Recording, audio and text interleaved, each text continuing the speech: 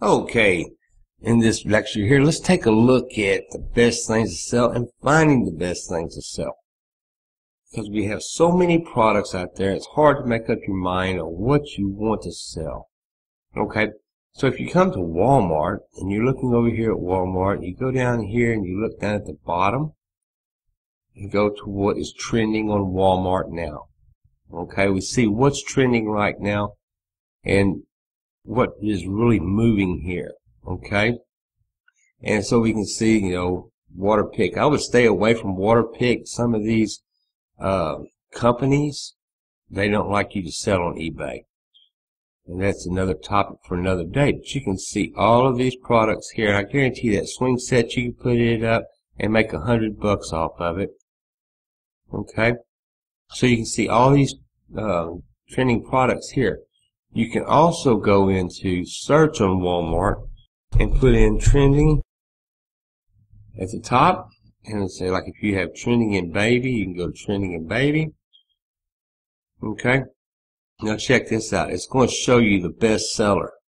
Now these best selling items you can mark these up 30 40 50 bucks and people will gladly pay you for them okay and it's best sellers. If you're looking at the best sellers in Walmart, these usually play, pay really, really good.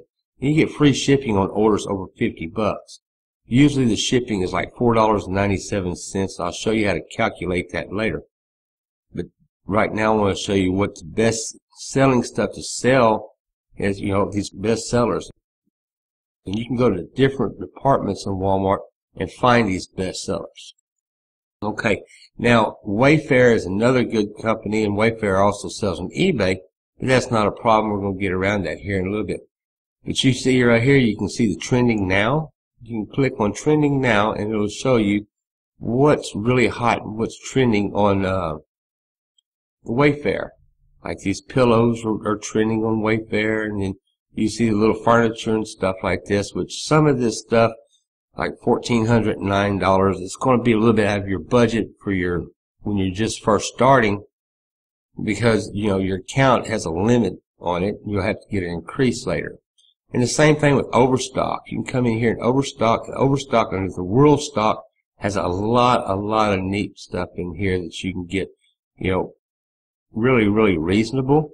Like throw rugs and home decor, world jewelry, all kind of neat stuff in here.